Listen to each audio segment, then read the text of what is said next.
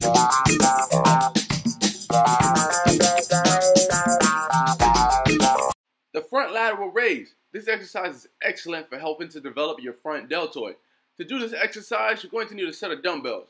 Can't do the exercise without those. You're going to also need to keep your core tight because you're going to face a lot of momentum when doing this movement. But you want to use your core to stabilize yourself throughout this movement. You also want to make sure that you're looking forward, keep your back straight, and also keep your feet planted to the ground. It's very simple. And also, I'm going to show you a demonstration. But when you do this exercise, you want to bring it up to about your shoulder. Don't go past that. I like to do it just to get the extra contraction, but since you're a beginner, keep it shoulder level. And when you bring it down, bring the weight down to about your hip level, and then alternate and bring the other side back up. It's that simple. This has been E-Fitness with the front lateral raise in a minute.